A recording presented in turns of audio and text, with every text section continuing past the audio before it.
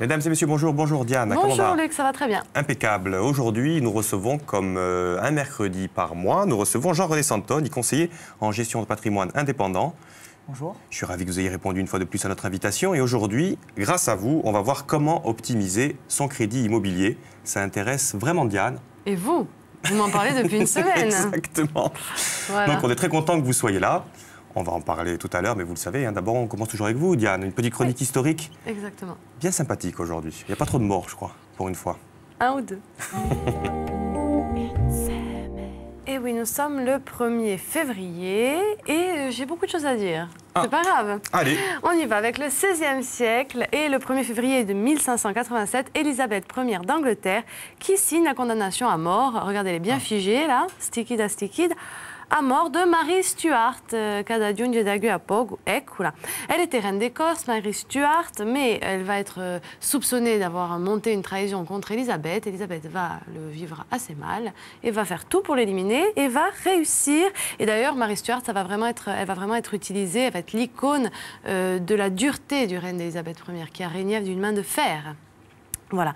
1741 maintenant, le 1er février, euh, Pascal Paoli entrait comme cadet euh, au Royal Corse de Naples. Ah oui, on en avait parlé avec Abbiamo Philippe Colombani, effectivement. ouais. Exactement. C'était un 1er février, donc. Due anni prima, in 1739, eh, Jacinto Paoli se n'era andato di Corsica perché c'era Genova e, e aveva assai gabadogli, se n'era andato Gozo Violi Pasquale che aveva 14 anni e dunque Pasquale ad ingranda, ad fare i suoi studi in Napoli et comme je vous le disais, il rentre au Royal Corse de Naples. Nous continuons avec 1743, sempre in Corsica. Euh, le roi Théodore Ier, le 1er février, euh, fort du soutien de l'Angleterre, va arriver devant Île Rousse en se disant qu'il va réussir à reprendre sa couronne. Ma on a Gemic à Benantez.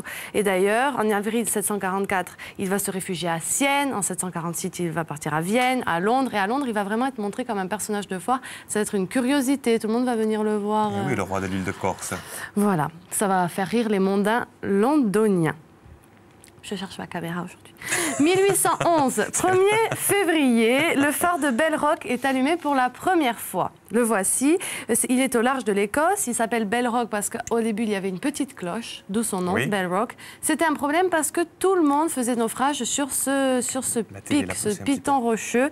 Et donc, tous les bateaux, il y avait des centaines de bateaux, j'ai exactement le chiffre, je vais vous le dire. 40 bateaux, par exemple, au, cours du XVIIIe siècle, euh, 40 bateaux se sont échoués sur ce rocher. Donc, on a mis un phare, une cloche, et c'est en 1811 qu'il s'éclaire. Il est toujours. euh, il marche toujours.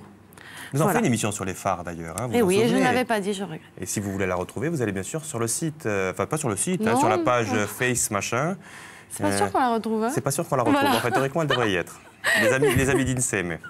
1823, 1er février, les bandits. Euh, Bultem ou Corsica, 1823, le 1er février, les bandits réunis en forêt d'Ayton euh, vont élire un roi, un chef plutôt. Euh, C'est Théodore Poli, pas North, mais Poli, qui est un des plus célèbres bandits corses du 19e siècle. Euh, il est emprisonné pour désertion. Il va s'évader en tuant ses gardiens et en fait il va créer ce qu'on appelle la République des bandits du Liamon et sur laquelle lui aussi il va régner avec une main de maître et de fer. Vous connaissiez Vous connaissiez euh. Moi non plus. On apprend chaque jour. euh, Deuxième conflit mondial maintenant, hein. je vais essayer d'aller un petit peu plus vite. 1942, 1er février, Jean Moulin était parachuté en France euh, pour organiser la résistance. Mhm. On sait qu'il finira. Ça va mal se finir pour Voilà, lui, ça va mal se sûr. finir. Puis 1944, toujours un 1er février, à Londres maintenant, De Gaulle rassemble toutes les forces de la résistance sous le nom que vous connaissez bien, Ah, les forces F- françaises de l'intérieur. Voilà, les FFI. 1966, 1er février, euh, la France devenait enfin l'égale juridique de l'homme. La France Euh, la femme, pardon. La femme, juridique, Oui. légal juridique. Pardon, oui, la femme. Incroyable, Alors qu'elle 1966. était considérée comme un pommier sous Napoléon et j'en passe. Et là, oui, 1966, la femme devient l'égale de l'homme juridiquement. hein. On m'a dit hors antenne, juridiquement Il y avait un mot de trop, voilà. il y a- on a dit en tête qu'il y avait un mot de trop. ouais. Les naissances. Avec le 1er février, Claude François, euh, qui voyait le jour, hein Claude François. en Oui, 1939. Clo-Clo. Et moi, je vais même pas en parler, on va l'écouter.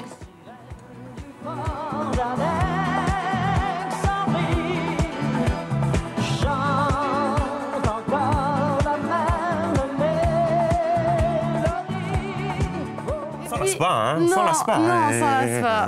Non, c'est. Et on va continuer. Allez. Puisque Mike Brandt aussi est né en 1947. Ah, C'est parti, Mike Mike Brandt, j'adore. Lui Ah non, bon, ah oui, il revient.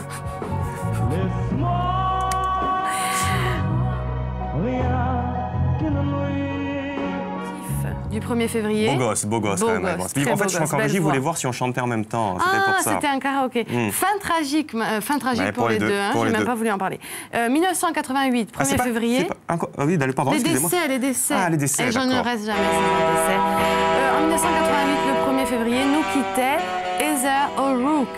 Je sais pas, j'arrive pas à le dire. Heather O'Rourke, c'était une jeune. Comment vous le lisez ça, Luc Allez-y. O'Rourke. Oui, mais c'est.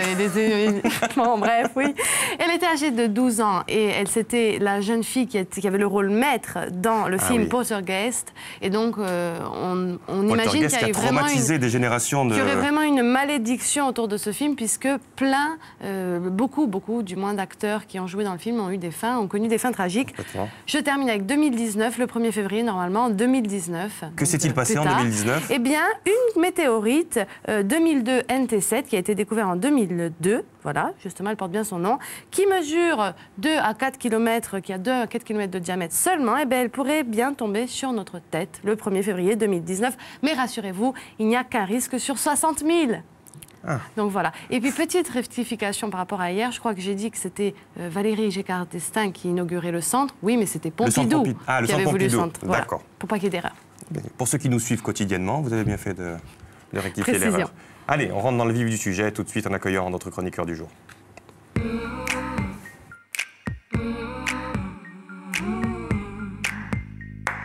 Et Eh oui, Emmanuel, grâce à vous, on va décrypter. On va décrypter quoi aujourd'hui? On va décrypter que le logement, c'est une part croissante du budget des ménages en Corse. Alors, en effet, en Corse, en France, hein, un peu partout, euh, on se rend compte que euh, sur les euh, 20 dernières années, le euh, budget consacré au logement, alors j'entends pas seulement le loyer ou le remboursement d'un emprunt, mais également toutes les charges afférentes, hein, euh, les charges des, parties locatives euh, communes, euh, l'énergie, euh, les gros travaux, euh, sont en croissance constante. On est passé de 22% du, du budget des ménages consacré au logement en 1984 à pratiquement un tiers, 33% aujourd'hui. Ça, c'est au niveau national. C'est pas qu'en Corse, hein, comme vous le C'est disiez. au hein. niveau national. Donc, de fait, de plus en plus euh, de personnes se demandent s'il vaut mieux pas acheter un logement plutôt que continuer à louer.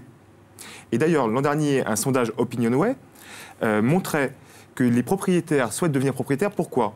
Première réponse, parce que les loyers sont devenus trop chers. Deuxième réponse, parce que c'est la meilleure façon de placer son argent. Troisième réponse, parce qu'on est sûr. là, là, là, qu'est-ce qu'on voit là Alors là, on voit la, la répartition. D'accord, donc on va revenir. Donc, on, attends, ouais, alors, qu'est-ce qu'on- attends, attendez, on, enlève ça, voilà, on revient, on répartition revient. en France. hein. Là, ça, c'est la répartition en France. 20% de propriétaires. On va réussir à lire, on n'arrive pas, on pas 30 trop.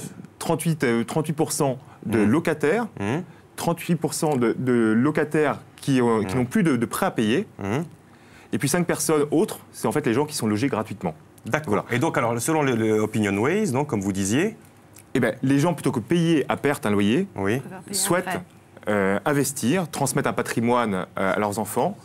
Et euh, il y a vraiment en France un rêve de devenir propriétaire. Dans la même institution d'âge a montré que 9 Français sur 10 rêvent de devenir propriétaire. Mais dans les faits, on est environ à 57% des Français qui sont propriétaires de leur logement. Et pour devenir propriétaire de loge- de- du logement, Hmm. le passage obligé, c'est le crédit. Le crédit. Et c'est la raison pour là- laquelle on se tourne vers Jean-René. Donc, Jean-René, le passage obligé, c'est le crédit, sauf qu'il n'y a pas qu'un crédit. Schématiquement, il y a trois crédits. C'est cela pour devenir propriétaire. Tout à fait. Trois types de crédits. Le crédit, euh, se- selon en fait le, type de projet. Si c'est un crédit pour, euh, pour habiter, pour acheter sa résidence principale ou secondaire, si c'est un projet euh, d'investissement locatif ou si c'est un projet pour vendre un bien immobilier et en acheter un autre, dans ces cas-là, on a trois, trois solutions de financement. Le premier, c'est le crédit amortissable. Donc c'est un crédit pour la résidence principale, Qu'on principalement. appelle le crédit in fine, c'est ça? Non, le in fine, c'est pour le, c'est pour le locatif. Ah oui, oui. Euh, L'amortissable, en fait, c'est un crédit classique. Vous empruntez 100 000 euros, vous remboursez euh, sur euh, 20 ans à peu près 1 000 euros par mois. Sur ces 1 000 euros par mois, il y a 500 euros qui, euh, qui vont au remboursement du capital et 500 euros qui vont au remboursement des, euh, Donc on va, on va intérêts. essayer aussi, on va essayer d'y aller, tranquillement. Ça, c'est le crédit amortissable. Donc le- l'emprunteur rembourse tous les mois une partie du capital et une partie d'intérêt. Les, mensualités sont constantes. Donc ça, c'est le crédit qu'il faut choisir pour Sa résidence principale, sa résidence principale. résidence secondaire. Résidence secondaire. D'accord. Après, nous avons le crédit in fine. Oui. C'est ça. Le crédit in fine, c'est pourquoi ça? Le crédit in fine, c'est un, c'est un type de financement qui peut être adapté pour les investisseurs. Donc c'est l'emprunteur rembourse uniquement les intérêts chaque mois. Le montant des intérêts payés est constant. C'est quoi la différence avec le, le- le crédit amortissable? Donc sur le crédit amortissable, on rembourse tous les mois, toujours dans l'exemple de, de 1000 euros par mois, on rembourse la moitié au titre du remboursement des intérêts et la moitié au titre du remboursement du capital. D'accord. Alors que dans le crédit in fine, on va payer que les intérêts, c'est-à-dire, toujours le même exemple, 500 euros par mois. Et on va demander à la banque de rembourser le crédit uniquement, euh, le capital, au terme du crédit. Si on a fait un crédit sur 15 ans, on devra rembourser le capital qu'au terme des 15 ans. Donc pendant 15 ans, on rembourse que les intérêts. Et, et c'est c'est quoi l'intérêt là? Pour- pour- Si par exemple on a monté une affaire, euh, les capitaux qu'on aura euh, accumulés vont permettre de payer à la fin? Notamment, ça peut servir pour payer, ben, comme le- son nom l'indique, in fine, au terme, le, le capital, si on attend une rentrée d'argent et qu'on doit payer le capital au terme. Il y a aussi une raison euh, fiscale, c'est qu'on on va déduire l'ensemble des intérêts au titre des, re- des revenus locatifs. Puisque quand on loue un appartement euh, ou un bien immobilier, les, loyers sont, imposés. Et donc si on fait un crédit in fine, on va amortir 100% de l'échéance au titre des, impôts. Et donc on va déduire euh, un avantage fiscal sur le loyer. Ah d'accord. Et euh, c'est plus, euh, c'est euh, la banque qui, qui vous dit euh, vous allez prendre plutôt l'amortissable que le in fine ou c'est vous qui décidez? C'est l'investisseur qui, choisit, en fonction de son profil, puisqu'il y a des profils qui, sont, qui, sont, qui auront tout intérêt à passer sur l'infine et d'autres profils d'investisseurs, en fonction du taux d'imposition, auront intérêt à passer en amortissable ou en infine. Et puis il y a le crédit relais aussi, je crois. hein. Le crédit relais, c'est différent là, le crédit relais. Crédit relais, euh, c'est un, un crédit qui est utile, bon, qui a mauvaise presse, mais qui est utile euh, s'il est bien utilisé. C'est un Euh, excellent lit, hein, c'est un excellent moyen pour mener à bien son projet immobilier. Le crédit relais permet d'acheter sa future résidence principale sans avoir vendu la précédente. Un cas classique, euh, vous achetez en, en un T2, ben, le, le- le foyer ou le- la famille s'agrandit, vous avez besoin d'un T3. Et Vous ne pouvez pas vendre le T2 euh, en achetant le T3 puisque vous serez peut-être euh, à la rue l'entendant ou vous n'avez pas encore trouvé le bien. Donc vous, vous achetez un T3, euh, vous faites un, un crédit en, a- en- en avance de la vente de- du bien. Donc la banque vous avance entre 50 et 70 de la, de la valeur de votre, de votre T2. C'est un, un crédit qui est de plus en plus court ou pas Celui-ci, j'ai l'impression, non? Ou le crédit relais? Il est très utile. euh, maintenant, il a mauvaise presse et de ce fait est moins distribué par certaines banques ou du moins moins demandé par certains clients, puisque notamment lors de la crise de 2008, euh, certains propriétaires avaient surestimé la valeur de leurs biens. Ah oui. Et du coup, euh, la banque avait avancé non pas à 50%, mais 100% de la valeur du bien. Et s'il y a une baisse de marché, les personnes ont, ont été en difficulté ensuite pour rembourser le crédit. Alors pour ceux qui ont un petit, peu, un petit peu de mal à suivre, même si vous êtes très clair, on va voir vraiment la différence schématiquement hein, entre le crédit in fine et le prêt, et le prêt amortissable, bien sûr, pour voir que voilà, ça c'est les remboursements des intérêts sur le, le prêt in fine. On voit qu'on rembourse le capital donc, à la fin en ayant des mensualisations donc, égales tout au long de, si on prend pour 15 ans. Et on va voir donc la différence avec le crédit, voilà, le schéma du prêt amortissable où c'est dégressif en fait. hein. C'est ça. Les intérêts, euh, on les paye majoritairement au début du crédit et à la fin, euh, bien entendu, c'est dégressif. Alors, euh, j'ai une question. Qu'est-ce qui fait varier justement le prix des, enfin le coût des, le coût des, des prêts? Qu'est-ce qui fait qu'il y a un prêt dans une banque qui est plus cher? Pourquoi à la Société Générale c'est moins cher qu'à la BNP alors que euh, demain ça sera moins cher à la BNP qu'au Crédit Agricole, etc. Qu'est-ce qui fait que ça change comme ça? Plusieurs raisons. Euh, des raisons euh, déjà commerciales. Oui. C'est est-ce que la banque a atteint son quota de, de- de- de financement et de clients? Puisque euh, il ne faut pas oublier que le, le- le- le financement est le meilleur moyen aujourd'hui pour une banque pour recruter des clients. Donc une banque a besoin de clients, elle baisse ses taux, elle fait venir du monde. Et le jour où elle a atteint ses objectifs, où elle a atteint son, son quota de financement, peut-être elle aura moins intérêt à baisser ses, taux. Ça, c'est le premier, premier élément. L'autre élément, c'est également des conditions de refinancement, puisque l'argent, la, la banque achète l'argent sur le marché pour ensuite le revendre. Et selon euh, les conditions du moment, certaines banques auront plus de facilité que d'autres à, à trouver de, de l'argent pour le refinancer. Donc ça, on a bien compris que selon les banques. Et puis après, moi-même, euh, dans la même banque, je peux avoir un prêt différent que celui de- de- d'Emmanuel. Tout à. Expliquez-nous pourquoi. Et ensuite, c'est le profil le Mm. profil client, à la fois sur le, sur le risque, est-ce qu'on vous prétend, euh, est-ce que la banque va prendre un risque considéré comme élevé ou pas? Donc dans ce cas-là, euh, elle va euh, déterminer, elle va pricer, c'est-à-dire qu'elle va euh, intégrer dans le coût du crédit votre risque. Et il y a également euh, le- le- la marge future, c'est-à-dire qu'en fonction de vos revenus, des placements que vous pourrez faire, des produits que vous pourrez acquérir, elle va déterminer un retour sur investissement plus ou moins rapide selon si vous avez des, des flux, euh, c'est-à-dire des revenus élevés ou pas. Mais il y a aussi différents critères. On peut, on peut personnaliser son prêt aussi, non Je crois. euh, Jean-René maintenant. Enfin, non, en fonction des assurances. euh, Qu'est-ce qu'il y a? Il y a plusieurs, plusieurs critères, non Sur Oui. un prêt? Pour analyser en fait un, un- un financement, on doit travailler sur, sur plusieurs critères. Le plus connu L'assurance, est le, taux, modalité de remboursement, la garantie. Oui. Alors le taux, euh, c'est le plus connu, c'est c'est- c'est ce qu'on regarde en premier, euh, c'est bien, c'est ce qui va conditionner le coût du, du crédit. Mais il y a également d'autres éléments comme l'assurance, l'assurance emprunteur, qui a un impact assez fort euh, également sur le, sur le taux de crédit, de l'ordre de, de 0,10, 0,20 voire 0,30 euh, pour cent. Et ensuite, il y a le coût Mais de ça, la ça veut garantie. dire quoi l'assurance? Pourquoi c'est c'est- ça dit Pourquoi c'est différent Euh, Qu'est-ce qui se passe? Euh, Je crois qu'il y a une nouvelle loi, non Euh, Oui, c'est la loi Lagarde Oui. qui, euh, qui en fait autorise le, le- le- le client à s'assurer en dehors de sa banque. Un crédit Jusqu'à présent, en fait, quand on prenait un crédit, la banque nous disait bon voilà, il y a cette assurance, il faut payer ça. Maintenant, grâce à la garde ou à cause de la garde, vous allez me dire si c'est grâce Oui. ou à cause, grâce, on peut négocier son, son assurance à côté, c'est Oui. cela Grâce donc. grâce à cette loi, en fait, on euh, on ne peut plus lier le taux d'un crédit à la souscription d'une assurance. Donc la vente liée est interdite. Donc de ce fait, la banque vous propose 3,80%. Elle ne peut pas vous dire c'est 3,80 si vous vous assurez chez moi et 4% si vous assurez euh, ailleurs. Donc ça, c'est un élément important qui permet au client d'aller comparer euh, la meilleure assurance euh, en fonction de son profil, là aussi. On peut faire de sacrées économies. Donc, c'est-à-dire sur un prêt de 100 000 euros, si on arrive à négocier soi-même son assurance euh, de son côté, on peut faire combien d'économies? On peut, selon l'âge, euh, gagner entre 5, 10, voire 15 000 euros selon la durée du, du crédit. D'accord. Donc ça, c'est l'assurance. Effectivement, on a intérêt à, à se renseigner. Ensuite, on, par- on a parlé du taux. Euh, Qu'est-ce qu'il y a aussi donc? Il y a également la garantie. La garantie. Qu'est-ce que c'est que la garantie? Lorsque la, la banque octroie un crédit, Hum en contrepartie, elle demande une garantie. Donc cette garantie peut être réelle, donc ça s'appelle euh, l'hypothèque. Donc la banque euh, a un droit sur, le, bien immobilier, donc c'est la prise d'une hypothèque qui est faite devant le notaire. Donc il y a, des frais d'hypothèque et ensuite des frais de, main levée. Le jour où vous remboursez votre crédit, vous devez rembourser vous devez payer des frais de main levée. Donc ça c'est la garantie réelle. Mais également d'autres types de garanties qui sont le- les, garanties euh, de caution bancaire et le cautionnement mutualiste, où en fait c'est votre mutuelle qui vous cautionne, euh, qui se porte garant à votre place et qui dans certains cas est gratuite. Alors, c'est-à-dire que c'est garantie ou assurance? Je ne comprends pas. Il faut, une, euh, il faut les deux euh, Il faut l'assurance pour vous assurer en cas de décès hum. si, si vous n'êtes plus. Et la, garan- Et le la cautionnement, mutuelle, ça prend pas ça. La mutuelle, ça prend pas ça en... la mutuelle elle, elle cautionne Ouais. et elle assure. Le cautionnement, c'est que si vous ne pouvez pas payer, c'est la, la mutuelle qui se porte caution. Donc vous n'êtes pas hypothéqué, c'est la mutuelle qui, qui assume à votre place. Et l'assurance, c'est s'il y a un décès, euh, dans ces cas-là, c'est l'assurance qui rembourse à la banque le, le capital. Je crois que nous avons une question SMS. euh, Diane. Oui, est-ce qu'on peut renégocier un crédit qui est en cours? Oui, c'est possible.